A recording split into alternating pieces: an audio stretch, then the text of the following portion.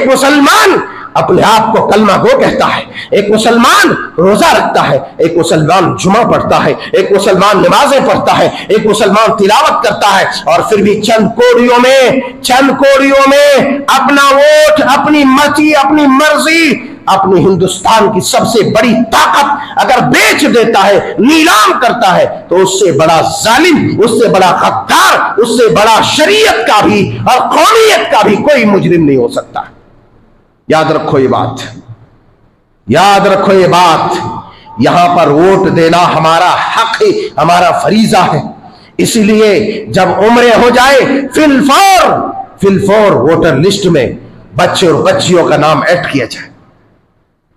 کیونکہ جو پروپیگنڈے چل رہے ہیں، جو حربے استعمال کیے جا رہے ہیں، مسلمانوں کو بدنام کر کے، اسے اس ملک سے، اس ملک میں سیکنڈ کلاس کے سٹیزن eh, بنا دینے اور ان کو یہ ووٹ کے ادھیکار سے محروم کر دیے جانے کے جو حربے چل رہے ہیں، اس حربے میں پھر وہ کامیاب نہیں ہو سکتا۔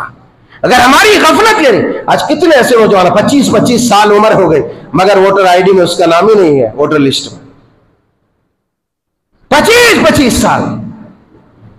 ارے کیا ہوگا؟ الیکشن کا وقت آتا ہے۔ دیکھو کہ اتنے پرسنٹ ووٹ گیا۔ چالیس فیصد لوگوں نے ووٹ ڈالا۔ چالیس فیصد۔ ابھی ایک بہت بڑے شیخ الحدیث، شیخ التفسیر مولانا انیس الرحمان آزمی کا ایک میں کلپ سن رہا تھا رات میں۔ بڑی اپیل انہوں نے کی ہے۔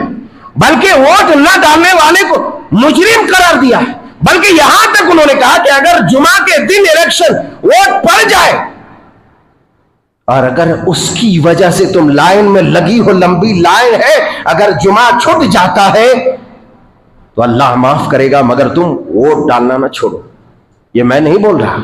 ملک کے ایک عظیم اسکالر بہت بڑے محدث لیول کے عالم دین، مولانا انیس الرحمان حضر کیوں؟ اس لیے کہ تمہارا ایک ووٹ ایسا ہے، جس سے کوئی ظالم کرسی کرسی اقتدار پر بیٹھ سکتا ہے اور پوری قوم کو ستا سکتا ہے، پریشان کر سکتا ہے۔ پوری قوم پر مظالم ڈال سکتا ہے۔ ایک ووٹ کی وجہ سے۔ اس لیے کہا، مرد ہو، خواتین ہو، لمبی لائن لگانا پڑی۔ پھر بھی لمبی لائن لگا کر کے ووٹ ڈالنا کسی بھی صورت۔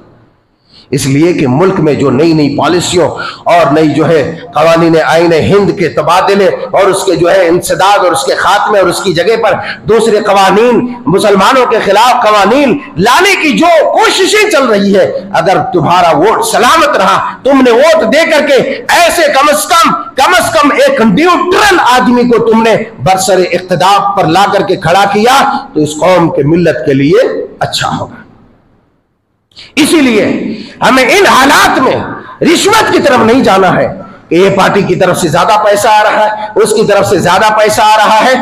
خدا کی قسم یاد رکھو، اگر تم نے اپنے ووٹ کو بیچا، ووٹ جانتے، ووٹر آئی ڈی کارڈ جس کے پاس ہے وہ نکالو اور اس میں لکھ، دیکھو، اور جہاں ووٹ دینے جاتے ہو، وہاں بھی لکھا رہے گا، مت دان کیندر سنکھیا۔ مت دان کیندر سنکھیا اتنا اتنا۔ مت دان، یہ مت دان کیا ہے؟ یہ مت کیا ہے اور یہ دان کیا ہے؟ آپ جانتے ہیں دان کیا ہے؟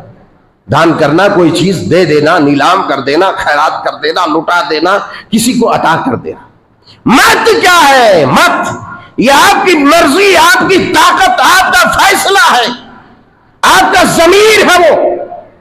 اور اگر آپ نے پانچ سو لے کر کے کسی ایسے پارٹی کو آپ نے، کسی ایسے پارٹی کو پانچ سو میں آپ نے اپنا اپنا ووٹ دے دیا، اپنا مت دان کر دیا، تو آپ سے بڑا ضمیر فروش کوئی نہیں، آپ سے بڑا بے ایمان کوئی نہیں، آپ سے بڑا قوم ملت کا غدار کوئی نہیں۔